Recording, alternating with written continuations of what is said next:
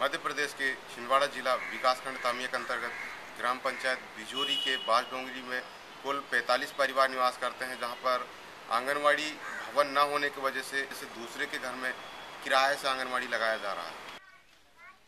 यहाँ पे आंगनबाड़ी भवन नहीं होने के कारण हम बच्चों को ठीक तरीके से बिठा नहीं पाते जो शिक्षा देना है वो भी नहीं दे पाते। और जैसे खाना वाना खा, खाना वाना खिलाने में बारिश होने के कारण वो भी दिक्कत है हमारे यहाँ की।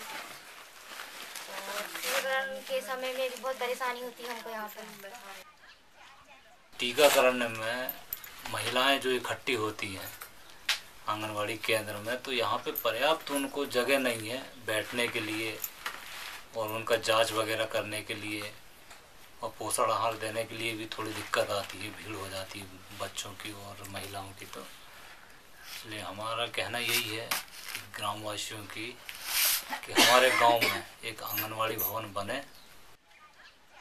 अच्छा तो आगे क्या चाहते हैं आप? सर हम चाहते हैं कि हमारे आंगनबाड़ी भवन बन जाए। आंगनबाड़ी भवन अगर बड़ा बन जाएगा तो सब कुछ सब सारे जो कार्य अभी अच्छे तरीके से नहीं हो पा रहे हैं अच्छे तरीके से हो पाएँगे। महिलाओं को बैठने में परेशानी होगी वो उनको जो हम उनको समझाएँगे दो दो बातें वो भी उनकी भी सुनेंगे। वो बातें भी हमारी नहीं हो पाती।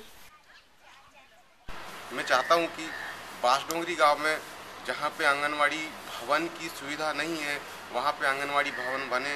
इसीलिए मैं आप सभी इस वीडियो देखने वाले दर्शकों से अपील करूँगा कि आप हमारे बिजोरी पंचायत के सरपंच श्री ललिता परतीति जी का mobile number seven seven seven one six five nine five double zero में बात करके उन पर दबाव बनाकर हमारा सहयोग करें, ताकि बांसडोंगरी गाँव में बदलाव हो सके। मध्य प्रदेश छिंदवाड़ा से मैं राजू परतेती, इंडिया अनहट के लिए।